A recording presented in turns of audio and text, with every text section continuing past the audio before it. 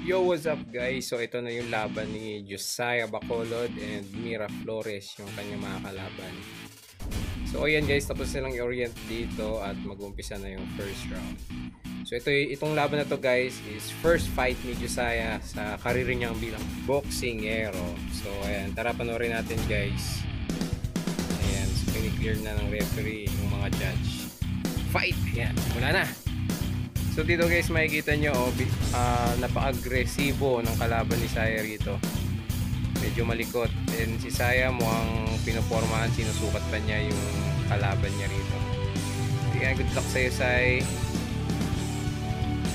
Oh, di ba? Diba? Parang ano eh, suntukang kali itong kalaban niya eh. Pero dito guys mapapasin nyo ba't siya binilangan? Eh, hindi naman siya nasuntok ng solid. So yan, uh, re uh, replay natin. Ito yung slow mo. Yan o. Oh. Diba? Nasa lag nga lahat ng suntok ng kalaban eh, pero binilangan siya. Kaya dito sa laban na to guys, uh, lamang na agad sa first round yung kalaban niya dahil nga dun sa ewan ko ba ba't yung binilangan ng referee. Yan. Oh. So, maganda yung form ni Josiah rito no. Yung mahirap pasukin. Mukha siya ng timing jab jab lang ginagawa niya. Dito bara bara suntok yung kalaban niya eh. So ayan o oh, tinitimpla pa niya. Tinitimpla pa ni Josiah katapat niya. Medyo natatamaan din siya na iskoran siya rito ng kalaban niya eh. so makikita natin dito kalmado pa rin si uh, Josiah. Hindi natin alam kung ano coach sa kanya ng coach niya kung ano tinuturo sa kanya rito. Kung ganyang 3 rounds lang tong laban na to dapat uh, nakipagsabayan na siya, nakipagpakbaka na sana siya para nakahabol agad siya dun sa counting sa kanya ng referee. Ayan guys, oh. So first round pa lang naman to, ayan, pansin na natin na medyo umaatras na yung kalaban ni Saya kasi nga uh, binigay niya na yung binusin na yung lakas niya sa umpisa pa lang. Ayan o, oh, medyo kino-corner na ni Saya rito yung kalaban niya. So ayan, binalik sila sa gitna ng referee. Kaya so sa boxing guys, guys kailangan talaga na ano, malakas yung tuhod mo, resistensya. Ganda ng pakbaka dito. Hindi medyo parang hindi nagkakatamaan pero ang ganda. Ayan, end of first round po 'yan.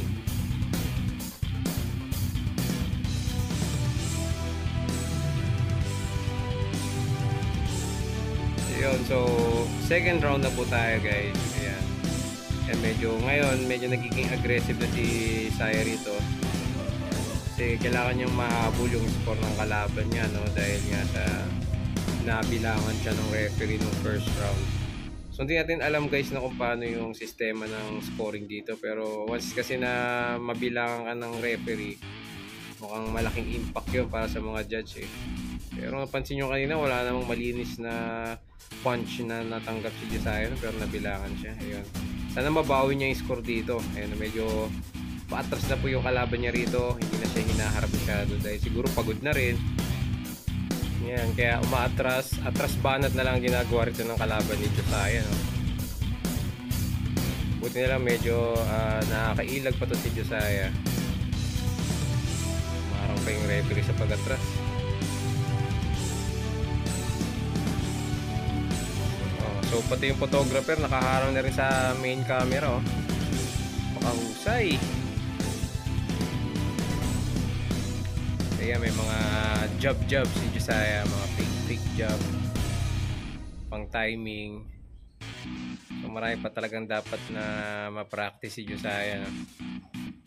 sa larangan ng boxing.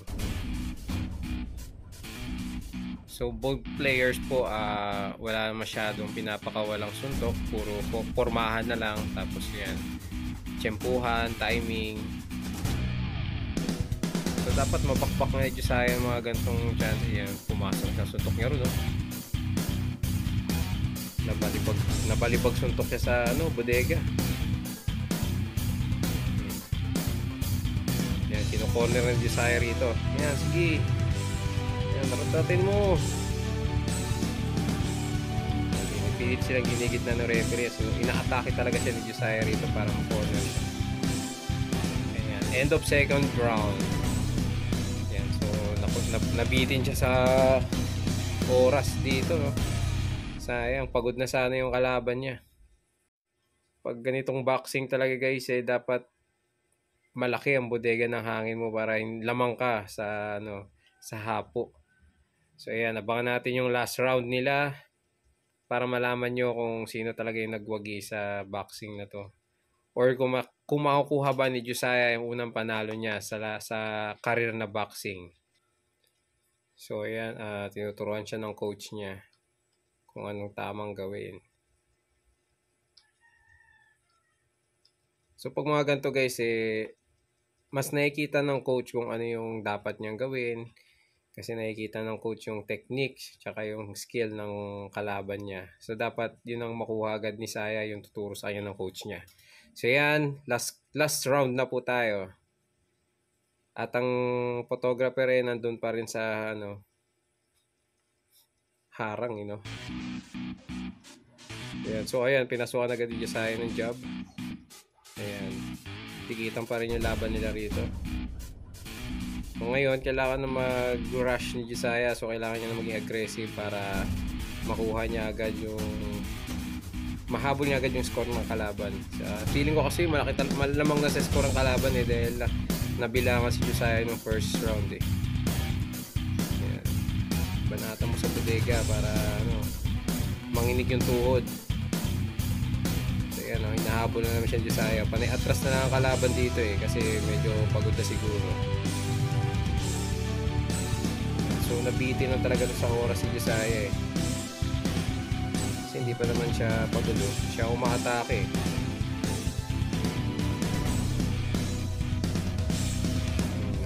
Siya ulo.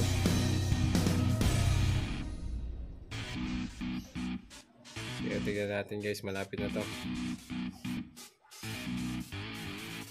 So, pansin nyo, nasa kabilang corner na naman sila, oh. Kasi medyo pagod na itong kalaban niya, eh. You know, medyo mabagal na yung suntok, eh.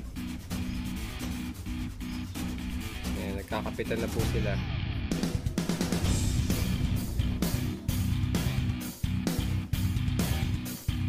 Ayan, unti-unti, maatras na ulit, tapos papasok. Hindi na makansya ron. Referee ay yung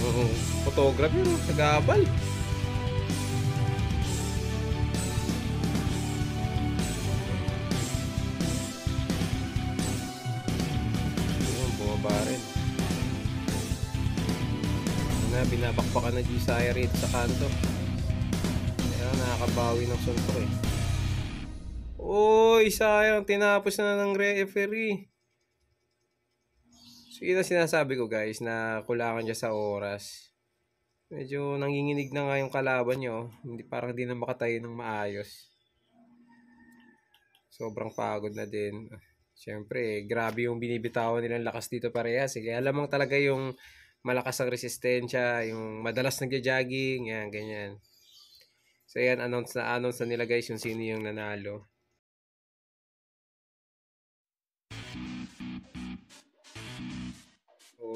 Tinatali na nila guys yung mga score ng bawat judges.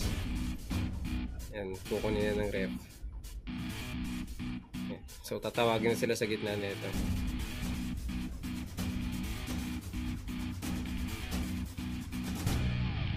So, ina-announce na. Yan, so dito nga guys, yan, na-announce na na nanalo yung kalaban ni Josiah. Yan, dahil nga dun sa ano guys, yung malaking bagay nga talaga yung nabilangan siya ng referee kasi considered as knockout yun eh. First knockout. So hindi natin alam kung bakit binilangan siya ng referee no, kaya sayang. So ang uh, decision daw dito is unanimous decision, yun ang sabi sa akin. So ayan, congrats Saya sa unang mong laban kahit na ganon may mali sa scoring. So, bawi na lang next fight, Sai. Support ka namin.